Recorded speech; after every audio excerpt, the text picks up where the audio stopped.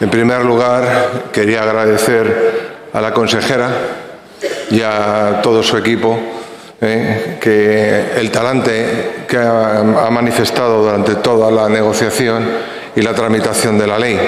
Eh, quizás ese talante, si otro consejero lo hubiese tenido, pues sería mucho mejor para todos. Ah, le agradezco realmente su talante.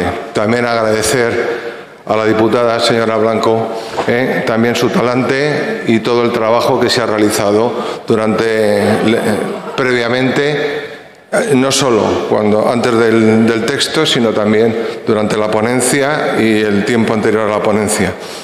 Y también no puedo dejar al margen a mis compañeros diputados, el señor Calabuch, la señora Rubio, eh, que han, han, trabajado conmigo codo a codo en esta ley y espero que hoy sí va a ver sus frutos. Eh, señor Alonso, nosotros le digo lo que hemos hecho. Nos hemos reunido con absolutamente todas, todas las entidades, con FAMA, con CERMI, eh, con todas las entidades del sector, absolutamente también. Es decir, y eh, se lo digo más que nada para que piense que no nos hemos reunido, sí, lógicamente. El trabajo gustará o no gustará, pero bueno, eh, eso, eso es independientemente. Creo que las enmiendas que se han sido transaccionadas, hemos llegado al acuerdo entre el Grupo Parlamentario Popular y el Grupo Parlamentario Vox, creo que realmente mejoran muchísimo el texto que el Gobierno trajo en esta, a esta Cámara. Y creo que serán el tronco básico para eh, el desarrollo de todas las materias, no solo que contiene la propia ley, sino otras leyes específicas que se están negociando y que creemos que en un futuro también se, negociarán. Y no podemos confundir una ley con un reglamento, con un plan o con unos presupuestos. ¿eh? Se lo quiero dejar claro, señor Alonso, porque ahora usted nos está hablando de casos concretos. Eh, casos concretos hay muchísimos. Lo importante es que se trabaje para y por las personas que lo necesitan. Y creo que esta ley es el tronco que va a permitir eh, trabajar y dar un mayor bienestar a las personas que realmente lo necesitan. También es cierto, usted ya lo ha dicho, que, bueno, que ninguna de sus eh, eh, enmiendas han sido tomadas en cuenta. Claro, lógicamente, una vez que uno lee sus, enmiendas, eh, leen eh, las enmiendas a la totalidad con el texto alternativo, pues claro, lógicamente vemos que es casi un corte y pega de la ley valenciana. Y señora Alonso y señores de la izquierda o de la extrema izquierda, Vox ha venido aquí para ser el escudo contrario y para evitar cualquier tipo de leyes de la extrema izquierda. Leyes de la extrema izquierda que son ñapas ideológicas incluida la ley del sí es sí. Tenían, eh, eh, ustedes pensaban que el Supremo les iba a dar la razón. Pues mira, el Supremo ha dicho a la ley del sí es sí, sí rebajan las, peñas, las penas y sí salen los violadores y los abusadores a la calle. Por lo tanto, es decir, lógicamente sus enmiendas no pueden ser incluidas. Eh, las enmiendas han mejorado y han incluido a la familia como eje social ¿eh? efectivamente faltaba en el texto original. También se ha desarrollado, es decir, en una reunión previa y el texto ya vino con la historia social única, que va a servir como un control de las ayudas para evitar fraudes y duplicidades, un banderín para la corrupción y va a crear un mecanismo claro de coordinación con otras comunidades autónomas.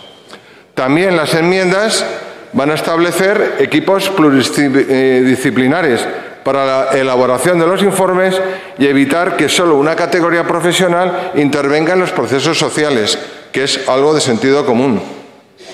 También se va a garantizar los principios de la tutela judicial efectiva en los procedimientos de limitación y retirada de derechos fundamentales para evitar arbitrariedades como el caso de la Junta de Andalucía, que ha sido condenada por un informe obtenido mediante coacción a un menor. También ha servido para establecer las bases para que a través de la ley de infancia si los menores extranjeros no acompañados puedan volver con su familia, como la Convención de los Derechos del Niño reconoce y exige. Hemos se ha elaborado un texto con un lenguaje jurídico y ortodoxo, no ideológico como ustedes pretenden. También las enmiendas van a promocionar los procedimientos de mediación familiar en la resolución de conflictos para evitar en, la mayoría la judicialización de los mismos. También las enmiendas van a beneficiar la atención a las personas con discapacidad en todas las fases de su vida, evitando el maltrato y el desamparo de este colectivo.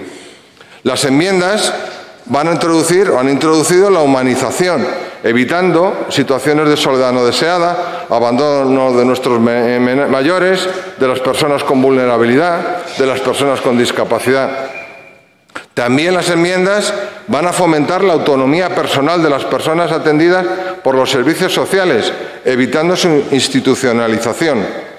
También las enmiendas van a garantizar un procedimiento de participación real donde solo intervengan los profesionales, las entidades, los usuarios y las familias, que son realmente las personas importantes en el proceso social.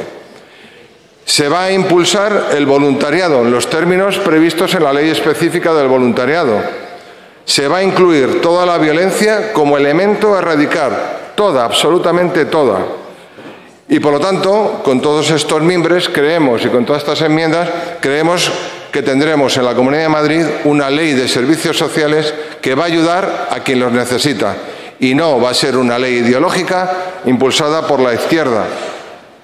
Y sí, es cierto, también eh, tenemos que tener en cuenta que esta ley tiene que ser desarrollada por los reglamentos competentes y también estaremos vigilantes de que la Comunidad de Madrid, el Gobierno de la comunidad, en el menor tiempo posible desarrolle los reglamentos de esta ley.